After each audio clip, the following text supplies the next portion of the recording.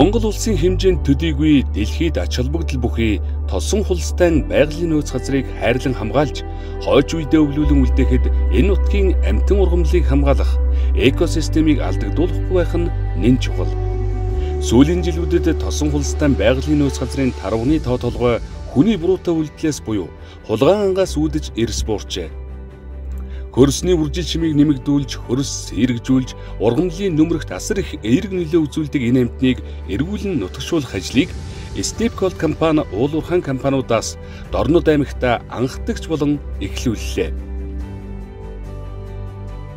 Хөлбөмбөр сумын нутагт 50, Цагаан овоо сумын нутагт 50, нийтдээ 100 Монгол тарвгийг нутагшуулж байна.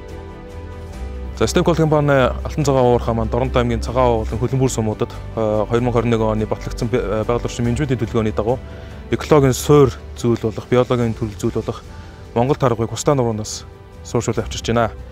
Тэгээ энэгээр болохоор ерөнхийдөө Доронто аймгийн цагаан уулын хөлбөмбөр сумуудад 50 50 ширхэг буюу энэ жил нийтдээ 100 ширхэг таргыг сэргэн төвшүүлээд байна. Хустай байгалийн сорц газар маань ерөнхийдөө Төв аймгийн Аргалан Талтан болго Баянга уран суманд оршдог. Ерөнхийдөө газар зүүн байдлаас авч үзэх юм бол уулын хээр, хээрийн бүсэд байдаг. Ерөнхийдөө Монгол тарвга энэ зүйл тарвга замхиссэн ийм газар бий.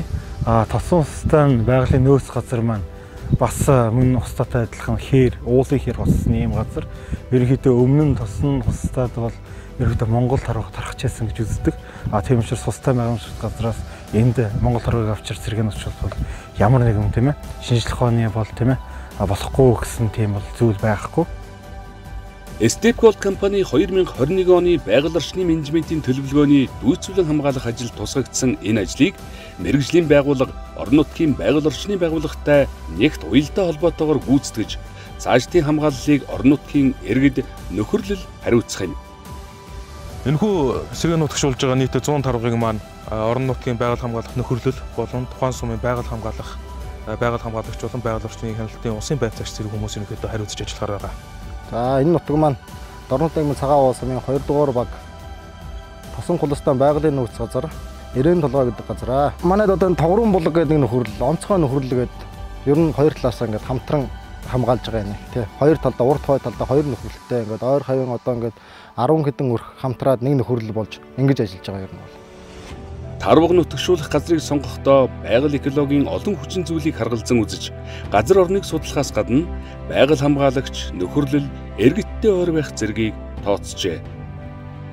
Дүүцүүлэн хамгааллын ажлаар 100 тарвагыг бол досон улсын байгалийн нөөц газарт бол тавихаар очир тавихаар бол ингээд авралын эрэлт гэдэг компани шалгараад энэ ажлыг хийж байна. Одоо энэ ажлыг нь бол бидний зүгээс бол нутагчхаар газрыг нь бол сонгож тавих ажлыг бол хийгээд газрыг нь бол сонгохоор 5 газар сонгочоод одоо аль газарт нь тавих вэ, яах вэ, их вэ гэдгийг нь бол хөвгдөж хараад ингээд явж байна. Тарваг нутгшуулах хад бас хэд хэдэн зүйлүүдийг нь харах хэрэгтэй байдаг л да.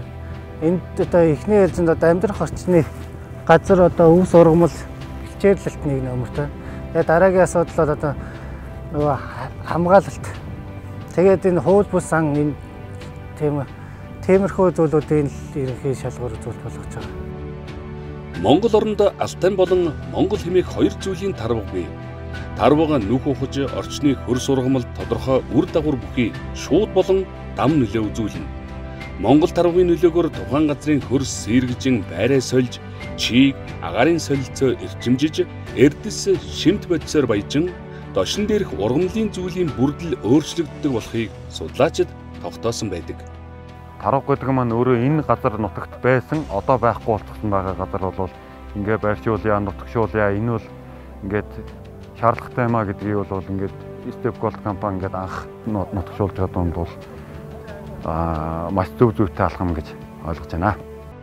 Өвсөн тэжээлт энэ мэрэгч нь эдвэхтэй хөдөлгөөний эд үедээч мал зэрлэг амтны бэлчээрийн өв сургамлыг булаах, хороох ямар ч сөрөг нөлөө үзүүлдэггүй хэрнэ экосистемд үзүүлэх эерэг нөлөө гүйцэтгэх үүрэг ихтэй амтан. Нийт 900 толгой таргуунд ерөнхийдөө хүүсийн хувьд бол нэг харьцах нэг харьцаатай бол байгаа. За ингээд бид бол өнөөдөр амжилттай олшууллаа.